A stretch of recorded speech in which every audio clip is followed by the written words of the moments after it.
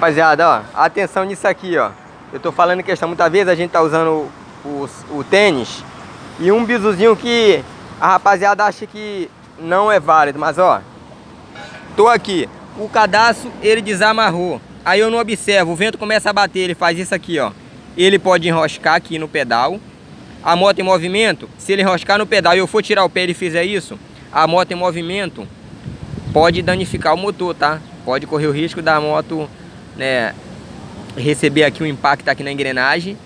Outra coisa, ele pode pegar aqui e descer, tem hora que o cadastro é grande e rola no pedal de, de freio. Ah, mas não tem como, não tem como. Ou então engancha aqui. Ah, mas não tem como, não tem como?